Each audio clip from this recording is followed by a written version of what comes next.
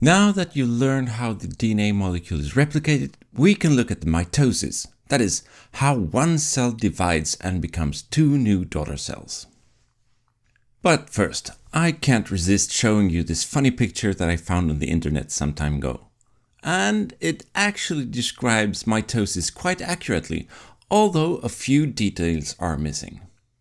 Anyway, let's have a look at the cell cycle again before we dive into the process of mitosis. Hopefully, you've already copied this to your notes, and in that case, you don't need to do it again. Immediately after a cell has divided, it enters what is called the G1 phase. G stands for gap, because here there appears to be a gap in cellular activity. Actually, a lot of stuff happens though, but you can't see it through a microscope, which is probably why the first cellular biologists considered it a gap. During the G1 phase, the cell grows rapidly and the cell has its normal metabolic activity. That means that the cell does what it's supposed to do, so to speak. Sometimes the cell stops dividing completely and only has its normal metabolic activity. This is often called the G0 phase.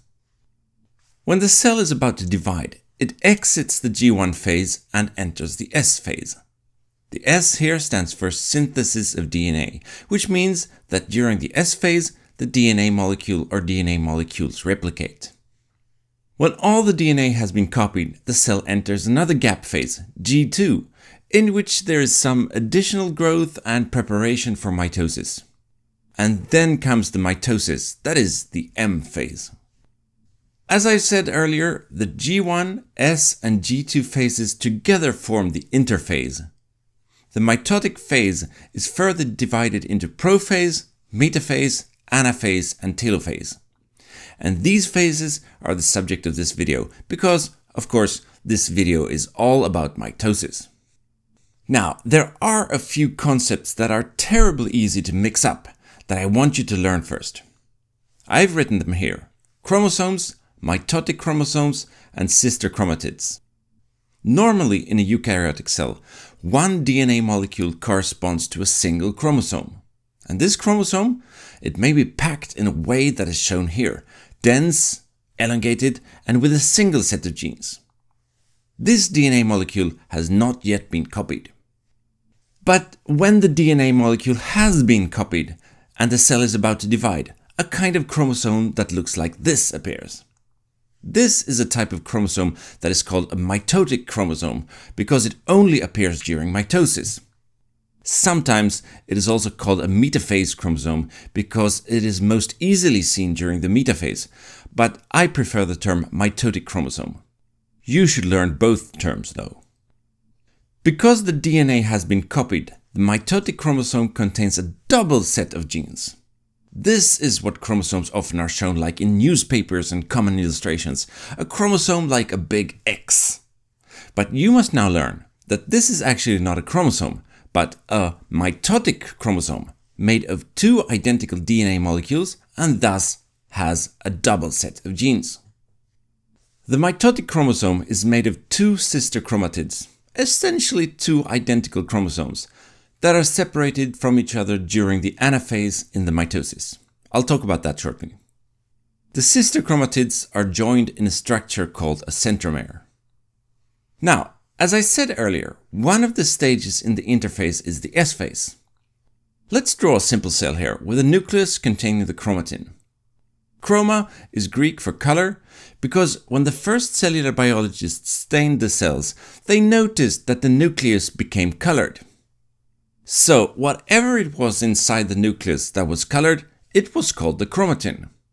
Today we know that this is mainly DNA, the genetic material of the cell. And well, yes, in the S phase, that's where the DNA molecules are copied, so the amount of DNA is doubled. Let's draw that too. In the cell, there's also a structure called the centrosome. Don't confuse the centrosome with the centromere. Soma in Greek means body, and the centrosome that we've drawn here, like the letter T, is like a small body of protein within the cell. The centromere, as you remember, is where the sister chromatids join in the mitotic chromosome. Anyway, during the interphase, the centrosome is also copied, so there are two centrosomes present when the cell enters mitosis. The first phase of the mitosis is called the prophase. During this phase, the chromatin starts to condense. This means that the DNA molecules are tightly packed to form mitotic chromosomes, which we draw like this. In a previous video, I already showed how the DNA is packed to form chromosomes. To pack the DNA into chromosomes, a type of proteins called histones is used. The DNA molecule is wrapped two turns around each histone, so it looks a little bit like beads on a thread. DNA with histones is wound and packed more densely using different scaffolding proteins, and for each level, the DNA molecule is increasingly rotated about itself to eventually form a structure that looks much like an X, like this. Now, let's return to the prophase. The chromatin is condensing, but also the nuclear membrane dissolves, which I show by drawing it with a dotted line like this. This is what signifies the prophase. Also, the centrosomes start to move away from each other. You see, the yellow lines here between the two centrosomes are protein filaments, which physically push the centrosomes from each other, so they end up in different ends or poles of the cell. Eventually, they end up on different sides of the mitotic chromosomes. Let's see what that looks like. Now the cell enters the metaphase, and you copy this image too. As you can see, the nuclear membrane is now completely dissolved. The mitotic chromosomes are now completely packed and assembled in the equatorial plane of the cell, right smack bang in the middle of the cell. They form kind of a plate in the center of the cell, a plate that's called the metaphase plate. I've drawn a red and a blue mitotic chromosome, but that's just because I want to distinguish them from each other. Can you also see in this image that the protein filaments are attached to the mitotic chromosomes? They actually attach to the centromeres of each mitotic chromosome, and this is important. At this point, a complete mitotic spindle has formed, and the sister chromatids are ready to be pulled in opposite directions. When the cell enters the anaphase, it is elongated like this to form more of a kind of obloid structure. Now, these protein filaments that are attached to the centromeres, they pull on the sister chromatids. In this way, the sister chromatids are separated from each other, pulled towards different poles of the cell. Have you copied this image to your notes too?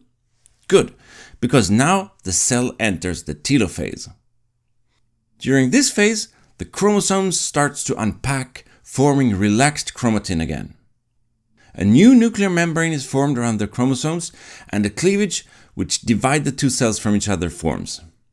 This is called cytokinesis, which literally means cell movement, because the two newly formed cells are seen as moving away from each other. The two daughter cells that have formed, they enter the interphase of the cell cycle. This means that they are ready for a new cell division if the organism is growing. Then they enter the S phase, the DNA is replicated, and the mitosis starts all over again and again and again. But, as I said earlier, the cell may also leave the cell cycle altogether, only to have the metabolic activity that defines that kind of cell. This is sometimes called the G0 phase. Sometimes the cell stays in the G0 phase until it dies, but other times it exits the G0 phase and enters the process of mitosis again. And that concludes what happens during mitosis, that is, cell division.